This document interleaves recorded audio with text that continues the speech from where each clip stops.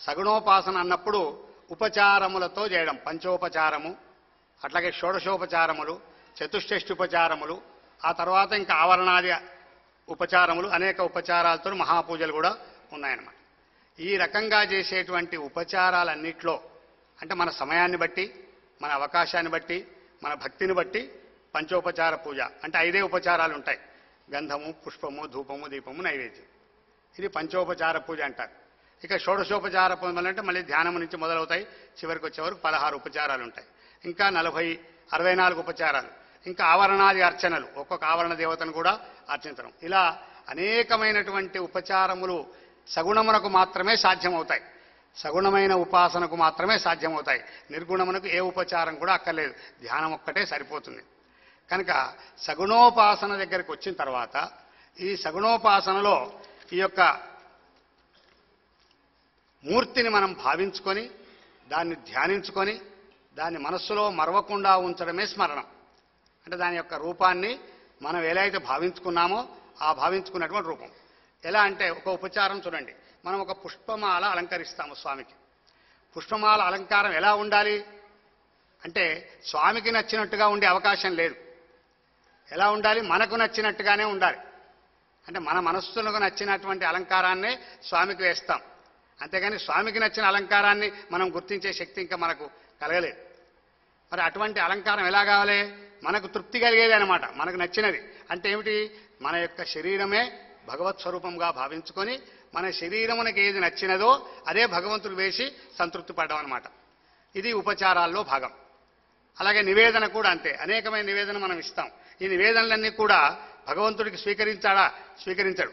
అది ఏది తీసుకుంటాం మనం? మనకు అనుకూలమైనది మనకు నచ్చిన ఆహారము మనకు నచ్చినటువంటి పదార్థాలన్నీ మనం స్వామికి నివేదించి దాన్ని ప్రసాద రూపంలో మనం స్వీకరిస్తాం. అంటే ఇక్కడ ఏం భావం ఉన్నది? ఆ మూర్తికి మన శరీరమునకు మన ధ్యానమునకు మన జీవుడికి అభేద జ్ఞానాన్ని పొందడం అనమాట అంటే అక్కడ మూర్తి మనము ఒకటే అయిపోవడం అనమాట ఆ ఒకటే అయిపోయిన భావమే. లేకపోతే ఈ మల్లెపూల దండ వాసన దేవుడికి వస్తుందా అని అనుకుంటే వేయడానికి మనస్సు రాదు. అది వేయడానికి మనస్సే రాదు. ఎందుకంటే ఆ వాసన వస్తుందా లేదా అని కాదు అక్కడ. ఇలా ఉంటే బాగుంటుంది. ఇలా ఉంటే దానికి సరైనటువంటి అన్ని వచ్చే అవకాశం ఉన్నాయనే భావనకే అది సగుణోపాసన అని పేరు. అయితే వీటన్నిటిలో కూడా స్మరణం యొక్క ప్రాధాన్యం ఎక్కడ అనేది మనకు ముఖ్యంగా తీసుకోవాలి. ఈ సగుణోపాసనలో స్మరణం అనేది అది మనస్సునకు సంబంధించింది.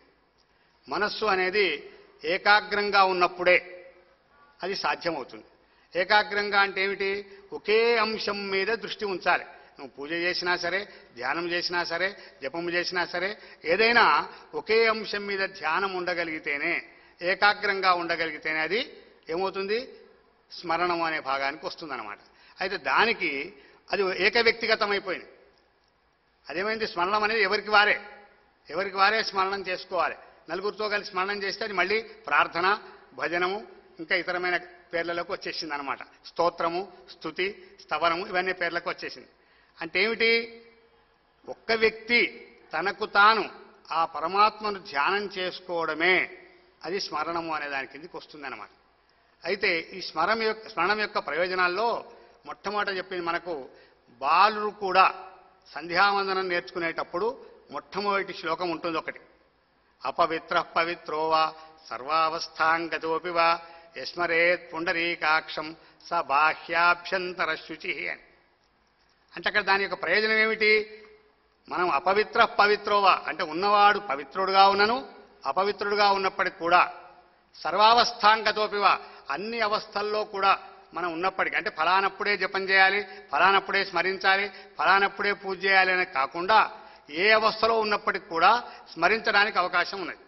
మనం ఫలానా అవస్థలోనే ఉన్నామని కాదు. మనం ప్రయాణం చేసేటప్పుడు కానీ ఇంకా ఇతరమైన కార్యక్రమాల్లో ఉన్నప్పుడు కానీ వేరే పనులు చేసుకుంటూ కూడాను మన మనస్సును ధ్యానించే అవకాశం ఉన్నదన్నమాట.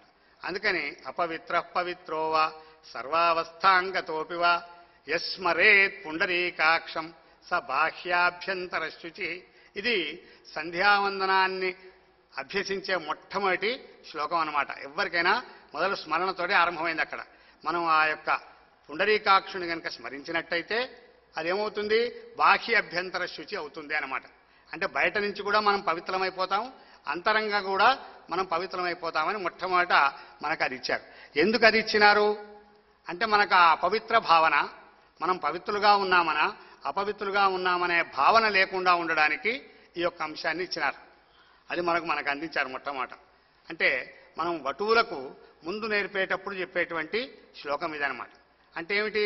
పవిత్రత అనేది మన మనస్సునకు సంబంధించింది. మనం పవిత్రంగా ఉన్నామా లేదా? ఎందుకంటే పవిత్రంగా ఆచారరీత్యా ఉన్నప్పటికీ మన మనస్సు అపవిత్రంగా ఉండే అవకాశం కూడా ఉన్నది.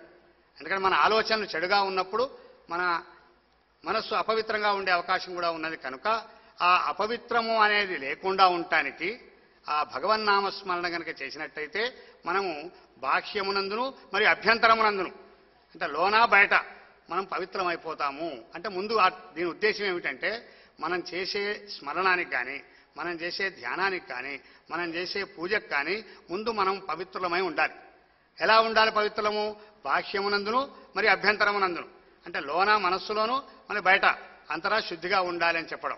మరి ఉండాలంటే ఎట్లా ఉండాలి అంటే ఈ నామస్మరణ చేస్తే చాలు మనం శుద్ధిగా ఉన్నట్టే. అంటే మిగతా ఆచార కార్యక్రమాలు కొంచెం తేడా వచ్చినా ఇబ్బంది ఏమీ లేదు అని చెప్పడం అన్నమాట.